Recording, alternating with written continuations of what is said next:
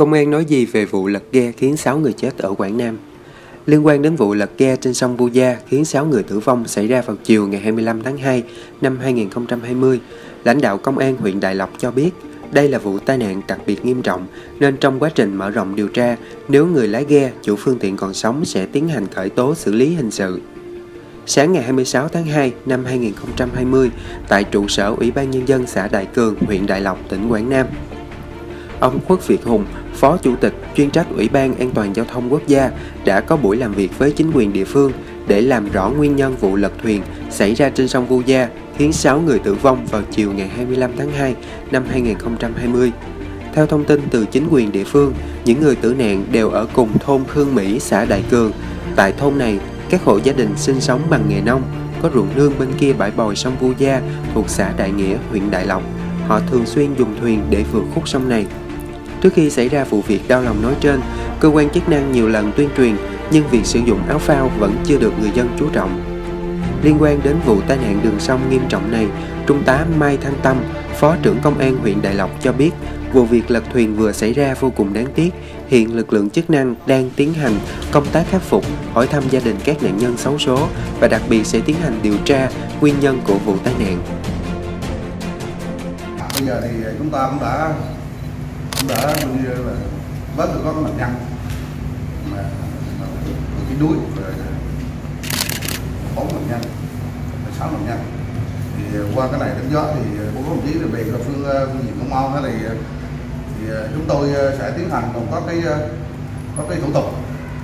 theo quy định pháp luật. Như đó là xác định hiện trường đo vẽ phóng nghiệm. Đồng thời có cái ga ra đây tố điều tra rồi ờ, ờ, sẽ làm việc với các cái nhân chứng.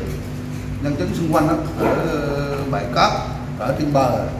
Rồi đặc biệt là làm việc với lại có cái có cái bị hại mà, mà, chúng ta bắt được. Bây giờ đang ở viện đó thì chắc chắn là tinh thần cũng rất là hoảng loạn. Nên là chúng tôi cũng sẽ tính toán để làm việc và sẽ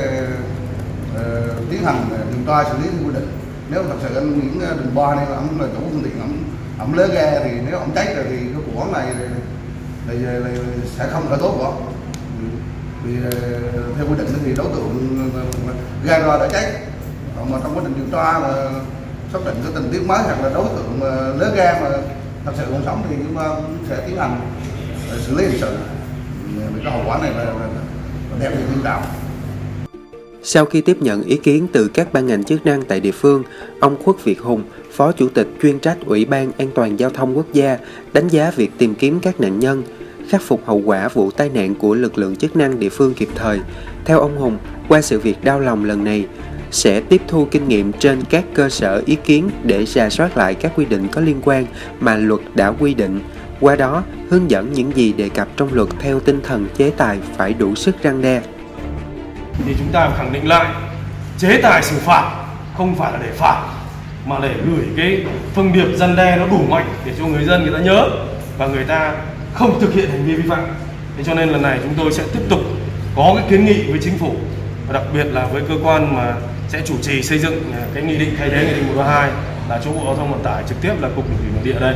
Đấy, cùng với bộ công an cục cảnh sát giao thông thì sẽ có cái dự thảo cái nghị định mới nó phù hợp với tình hình hơn nó cụ thể nó chi tiết hơn để cho người dân nắm được cũng như là thuận lợi cho lực lượng chức năng cũng trong sáng ngày 26 tháng 2, khi kết thúc buổi làm việc, ông Khuất Việt Hùng cùng đoàn công tác đã đến tận nhà các gia đình nạn nhân thăm hỏi, động viên, đồng thời hỗ trợ mỗi nạn nhân tử vong 5 triệu đồng. Trước đó, vào tối ngày 25 tháng 2, sau khi sự việc xảy ra, ông Khuất Việt Hùng cũng đã có mặt tại hiện trường nơi xảy ra vụ việc để chỉ đạo công tác tìm kiếm tung tích nạn nhân mất tích còn lại.